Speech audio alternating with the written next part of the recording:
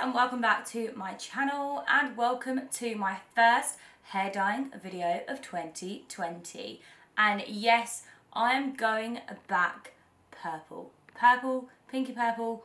Not entirely sure what colour this is going to turn out but yeah obviously you guys can see from the thumbnail that I'm dyeing my hair and I'm so excited.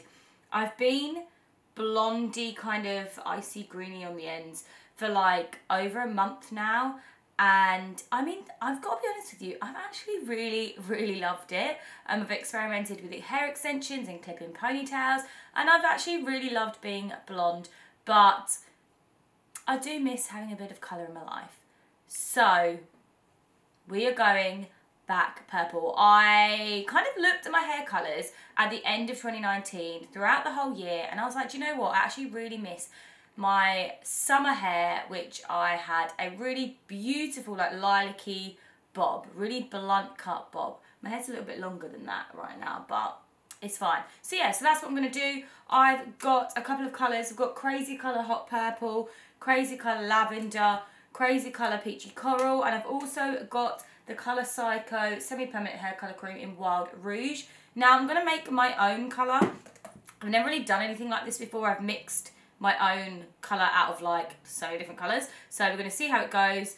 Um, I basically want to try and get more of a reddy pinky purple than a bluey purple because I've got these green undertones and if you look at a colour wheel then red cancels out green so I'm kind of hoping that when this look fades it will fade to a kind of blondie grey silver colour and the green will be gone for the next time I dye my hair because I just want to get rid of this undertone. So yeah, fingers crossed it works out okay. Let's get straight into it. Let's stop chatting now.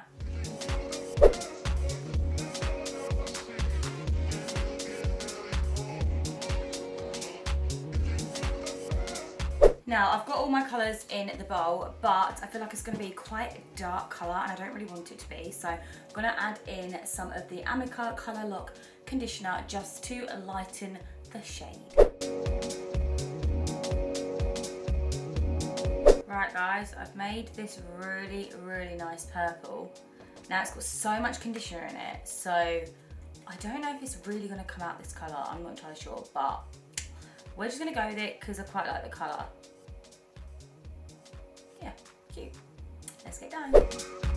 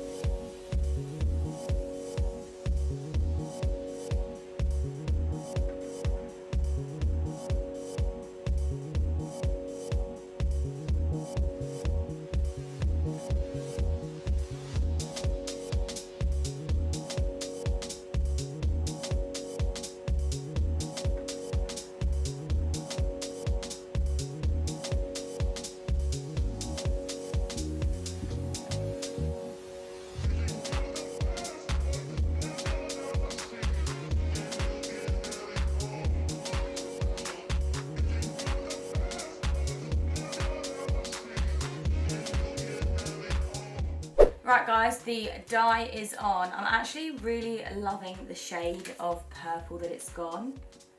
I think this is gonna look so nice when it fades. Mm. Right, gloves are off. I'm gonna leave this on for about half an hour, wash it out. I will blow dry my hair and come back when, what is going on with my voice? I will come back when my hair is all dried and I will, hmm, I style it and then just come back? Yeah, I think I will wash it out, blow dry it, style it, and then just come back and show you the finished look. Fingers crossed, it looks okay. Guys, I'm back. This is my finished look. What do we think of my new hair? I'm loving it. So, so nice. It's a little bit greasy still because obviously I put so much conditioner into the mixture. So I don't think it really washed out very well. And my hair's a little bit greasy now, but it's fine. And yeah, I'm really pleased with the colour. It's a little bit streaky, a little bit patchy, but I do find that when you dilute hair dyes down, semi-permanent hair dyes down with conditioner, it does go a little bit streaky and patchy. Um, but I mean, it doesn't look that bad. I think it kind of adds a bit of texture to the hair because we've got a couple of like little darker patches, lighter streaks. But also I do find that after a couple of washes, your hair kind of manages to sort itself out and it kind of goes more one tone. Uh, but I'm really pleased with it. It's definitely a bit more of a bluey purple than the reddy purple that I'd hoped for. So I don't know how this is going to fade. I kind of hope it is going to go like a silvery grey blonde, just so it's a nice base for when I dye my hair again. But we shall see. Um, yeah, obviously if you want to keep up to date with the fading progress, then just come and follow me on Instagram because you'll be able to see. Um, yeah, I'm really pleased with it though. I think it looks really, really nice. I love the colour. Like it does remind me of the colour that I had last summer. It's definitely purple. Yeah, loving this whole purple vibe. What do you guys think of this new look? I would love to hear. Please leave your comments below. Also, I've got a cute shirt to match my new hair. Love this. I think this is from Nasty Gal, so I'll a link below if you want to check out the shirt as well. Um, oh, as I'm here, I actually used a new lip product today.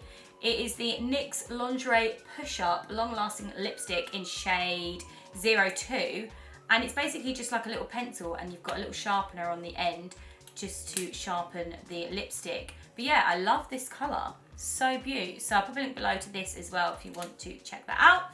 Um, I think there's like 10 new shades.